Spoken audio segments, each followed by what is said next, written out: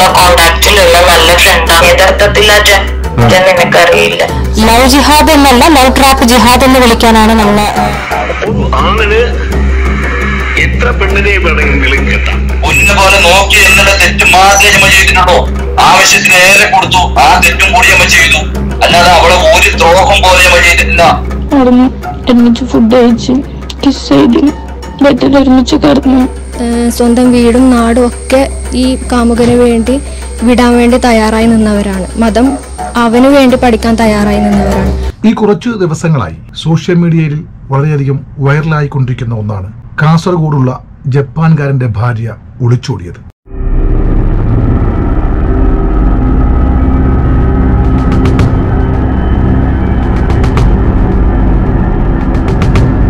ഈ ഒളിച്ചോട്ടത്തിൽ യഥാർത്ഥത്തിൽ എന്താണ് സംഭവിച്ചത് എന്നുള്ള കാര്യമാണ് നമ്മൾ ഇന്ന് വീഡിയോയിലൂടെ നോക്കിക്കാണുന്നത് ടാക്സിക്കാരൻ ബോസിന്റെ പുതിയ വീട്ടിലേക്ക് എല്ലാവർക്കും സ്വാഗതം.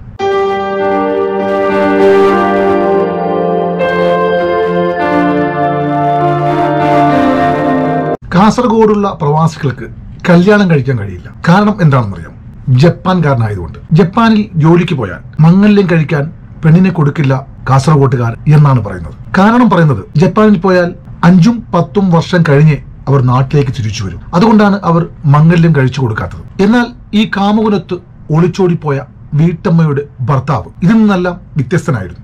പോലെ നോക്കി എന്നുള്ള തെറ്റ് മാത്രമേ നമ്മൾ ചെയ്തിട്ടുള്ളൂ. ഏറെ കൊടുത്തു. ആ തെറ്റും കൂടി നമ്മൾ ചെയ്തു. അല്ലാതെ അവളെ ഒരു ദ്രോഹം പോലെ നമ്മൾ ചെയ്തിട്ടില്ല. ഇദ്ദേഹം ജപ്പാനിൽ പോയി പണം സമ്പാദിച്ചതിനു ശേഷം വളരെ സാധാരണ കുടുംബത്തിൽ നിന്ന് ഒരു യുവതിയാണ് ഇദ്ദേഹം ഒന്നും വാങ്ങാതെ വിവാഹം കഴിച്ചത്. അതുമാത്രമല്ല ഇദ്ദേഹം മംഗല്യം കഴിക്കാൻ പോകുന്ന പെണ്ണിന് വീട് വെച്ചു കൊടുത്തതിനു ശേഷമാണ് ഇദ്ദേഹം വിവാഹം കഴിച്ചതെന്നാണ് നാട്ടുകാർ പറയുന്നത്.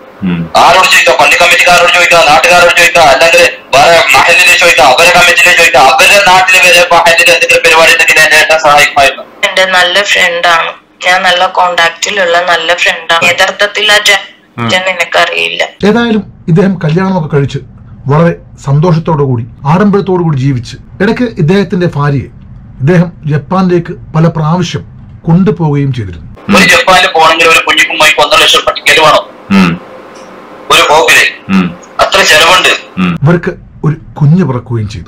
പറഞ്ഞത് ഞാൻ അന്യമതത്തിൽ ചേർന്നത് കൊണ്ടല്ല ഇസ്ലാമിലും കുറച്ച് അങ്ങനെ സുഖമായി കഴിഞ്ഞു പോകുന്ന സമയത്താണ് ഇടയിൽ കൂടെ പഠിച്ചിരുന്ന ശ്രീഹരി എന്ന യുവാവ് കടന്നു വരുന്നത് പഴയകാല സഹപാഠിയുമൊത്ത് ഈ യുവതി ചങ്ങാത്തം കൂടുകയും ചെയ്തു. ആ ചങ്ങാത്തത്തെ കുറിച്ച് ഈ യുവതി തന്നെ വിശദീകരിക്കുന്നത് നമുക്കൊന്ന് കേട്ടു നോക്കാം നിങ്ങൾ മനുഷ്യരായിട്ടല്ല വർത്താനം പറയുന്നത്.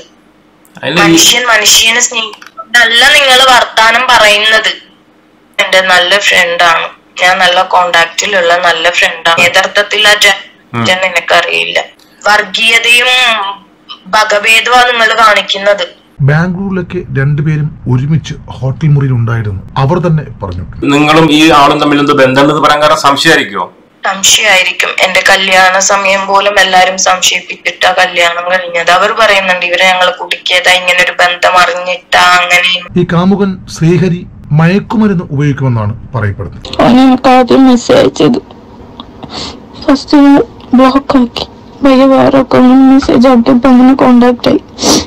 അന്നേരം ഉണ്ടായിട്ട് മെസ്സേജ് നിൽക്കും ഫ്രണ്ട്ഷിപ്പിന്റെ പേരിൽ അങ്ങനെ ബുദ്ധിമുട്ട് വരണപ്പോഴും കുറച്ച് പൈസ അയച്ചു കൊടുത്തു വഴി തിരിച്ചു തന്നു അവിടുന്ന് തിരിച്ചിങ്ങോട്ട് ജപ്പാനിലേക്ക് വരാൻ നിൽക്കുമ്പോൾ ബാംഗ്ലൂരിൽ നിന്ന് കണ്ടിട്ടുണ്ടായിരുന്നു ഒരുമിച്ച് എല്ലാവരും മാളിൽ പോയി തിരിച്ചു വരുമ്പോൾ വന്നിട്ട് ഡ്രോപ്പ് ആക്കിയിട്ട് പിന്നെ റൂമിലേക്ക് വന്നു. ഒരുമിച്ച് റൂമിൽ കുറച്ച് നേരം ഉണ്ടായിരുന്നു രണ്ടര രണ്ടര മണിക്കൂർ ഉണ്ടായിരുന്നു അവിടുന്ന് ഒരുമിച്ച് ഫുഡ് കഴിച്ച് കിസ് ചെയ്ത് ബെഡിൽ ഒരുമിച്ച് കിടന്നു അവിടുന്ന് കുറച്ച് കഴിയുമ്പോൾ പോയി. പിറ്റേന്ന് എയർപോർട്ടിലേക്ക് കൊണ്ടാക്കുന്നു എന്തായാലും ഒടുവിൽ വീട്ടുകാർ പിടിക്കുന്നു. വീട്ടുകാർ പിടിക്കുന്നു എന്നറിഞ്ഞപ്പോൾ ഒടുവിൽ ഈ കാമുകനും വീട്ടമ്മയും ഒളിച്ചോടാൻ തീരുമാനിച്ചു. അങ്ങനെ ഇവർ വീട്ടിൽ നിന്ന് ഇറങ്ങിപ്പോകുന്നത് സി സി ടി വി ദൃശ്യങ്ങളിലൂടെ കാണാനും കഴിയും.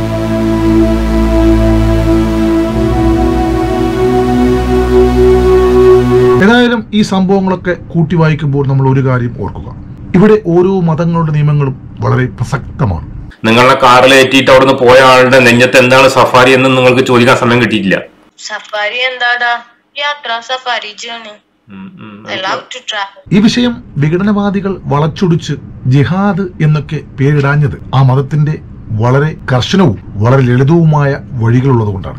നെഞ്ചിലുള്ള ടാറ്റു എനിക്കറിയില്ല. നെഞ്ചിലുള്ള ടാറ്റു എനിക്കറിയില്ല. കാറിൽ ഞാൻ അവരെ മെസ്സേജ് അയച്ചായിരുന്നു. എനിക്ക് വീട്ടിലോട്ട് പോവണ്ട വീട്ടിൽ പോയാലോ? ഓൾറെഡി എനിക്ക് ഞാൻ ഒരു സിറ്റുവേഷൻ കഴിഞ്ഞതാണ്. ഞാൻ എന്റെ വീട്ടിൽ പോയി പറഞ്ഞതാണ് എനിക്ക് ഈ ദാമ്പത്യം കൊണ്ടുപോകാൻ പറ്റില്ല. ഒരു ആണിന് എത്ര പെണ്ണിനെ വേണമെങ്കിലും കിട്ടാം. ആ പെണ്ണിനെ ഓരോരുത്തരെയും ഇഷ്ടമുള്ളപ്പോ മൊഴി ചൊല്ലാം.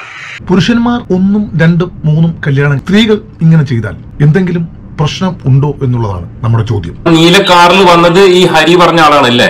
ഹരി തന്നെയാണ് വന്നത്. കാറിൽ കയറിയിട്ട് നിങ്ങൾ എങ്ങോട്ടാ പോയത്? ഞാൻ ആദ്യം പോയിട്ട് കോടോത്തായിരുന്നു ഒരു വീട്ടിൽ താമസിച്ചത് രജനി എന്ന് പറയുന്ന ഒരു ചേച്ചിയുടെ കൂടെ. അവിടുന്ന് ഞാൻ സ്റ്റേഷനിലോട്ട് ഹാജരാകുന്നത് വരെ താമസിച്ചത്. മത നിയമങ്ങൾ ഓരോന്നും മനുഷ്യന്റെ നന്മയ്ക്ക് വേണ്ടി മാത്രമാണ് ഉപയോഗിക്കുന്നെങ്കിൽ ഇവിടെ ജിഹാദ് എന്ന് പറഞ്ഞ സംഭവങ്ങൾക്ക് യാതൊരു പ്രസക്തിയും ഇല്ല എന്നുള്ളതാണ് നമുക്ക് ഓരോരുത്തർക്കും മനസ്സിലാക്കാൻ കഴിയുന്നത്. എങ്ങനെയൊക്കെ ആ കുട്ടിയെ ദുരുപയോഗം ചെയ്യാൻ പറ്റുമോ? ആ രീതിയിലൊക്കെ വളരെ തന്ത്രപൂർവമായിട്ട് ചെയ്ത കുറേ സംഭവങ്ങൾ ഉണ്ടായിട്ടുണ്ട്. ഏക സിവിൽ കോഡ് വരുമ്പോൾ പുരുഷന്മാർ വിവാഹം കഴിക്കുന്നതും പുരുഷന്മാർ സ്ത്രീധനം കൊടുക്കുന്നതും ഒക്കെ ആയിരുന്നു വിഷയം. എന്നാൽ സ്ത്രീകൾ ഇങ്ങനെയുള്ള കാര്യങ്ങൾ ചെയ്യുമ്പോൾ എന്താണ് അതിനുള്ള പ്രതിവിധി എന്നുള്ളത്? ഏക സിവിൽ കോഡിന്റെ നിയമങ്ങൾ വരുമ്പോൾ ഉണ്ടാകുമോ എന്നുള്ള കാര്യം നമുക്ക് നോക്കിക്കാണേണ്ടിയിരിക്കുന്നു. ഇങ്ങനെയുള്ള ഒരു ഞാൻ കാണുന്നത് കാരണം സ്വന്തം ചോര നീരാക്കിയിട്ട് ഒരു ചെക്കൻ ഉണ്ടാക്കിയ പൈസ. കാരണം അവൻ പണം. അല്ലാതെ അവർക്ക് ഇവിടെ പറഞ്ഞ പോലെ പഴയ ജമ്മി സ്വത്തല്ല. ഇവൻ അധ്വാനിച്ച് ഇവൻ നയിച്ചിട്ടുണ്ടാക്കിയ പണമാണ് അവൻ. എന്തായാലും പ്രവാസികൾ കുടുംബത്തിനോട് വളരെയധികം ഉത്തരവാദിത്തം കൂടുതൽ എടുക്കേണ്ടുന്ന സന്ദർഭങ്ങളിലൂടെയാണ് നമ്മൾ കടന്നു പോകുന്നത് കേട്ടിട്ട് നമുക്ക് തലയിൽ മണിക്കുന്നു റൂമിൽ കിടക്കും പറഞ്ഞു കൊടുക്കലോ എന്ത് സംഭവം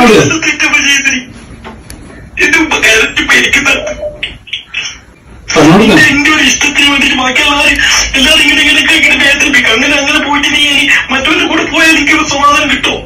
എനിക്കൊക്കെ പഠിച്ചെന്നെ കൊടുത്തേ വിടോ. പ്രണയം അഭിനയിച്ചുകൊണ്ട് പ്രണയനാട്യത്തിലൂടെ അവർ അവരുടെ എല്ലാ തരത്തിലും അവരെ ചൂഷണം ചെയ്തുകൊണ്ട് ലൈംഗികമായിട്ടാണെങ്കിലും അവരുടെ സ്വത്തിന് വേണ്ടിയിട്ടാണെന്നുണ്ടെങ്കിലും എല്ലാ തരത്തിലും സത്യം എന്താണെന്ന് അറിയാണ്ട് സംസാരിക്കില്ല.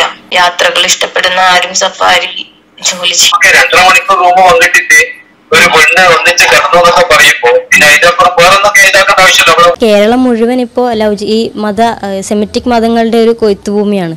ലവ് എന്നുള്ളത് മാത്രമല്ല ലവ് അല്ലാതെ പലതരം ജിഹാദുകൾ നടക്കുന്നുണ്ട്. അതുപോലെ ഓരോ ഘട്ടങ്ങൾ അവൽ അവളിലുണ്ടായ ഓരോ മാറ്റങ്ങളൊക്കെ ഞങ്ങൾ ഞങ്ങളുടെ ജീവിതത്തിലൂടെ കടന്നുപോയ സന്ദർഭങ്ങളാണ്. ഓർമ്മപ്പെടുത്തൽ ഒരിക്കൽ കൂടി ആവർത്തിച്ചുകൊണ്ട് നിർത്തുന്നു. മറ്റൊരു വീഡിയോ കാണുന്നവരെ എല്ലാവർക്കും ബൈ.